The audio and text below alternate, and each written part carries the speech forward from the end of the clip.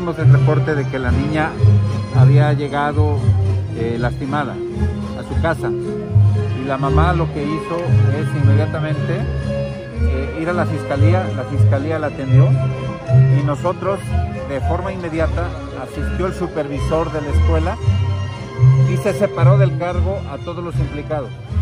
En este momento se está determinando quién fue el agresor. ¿verdad? Pero lo que sí les puedo anticipar que estos casos jamás se quedan impunes. Después de la investigación lo que sigue es el cese, es decir, el despido. Y obviamente la denuncia ante la fiscalía para que se haga justicia. Así está tratado el caso.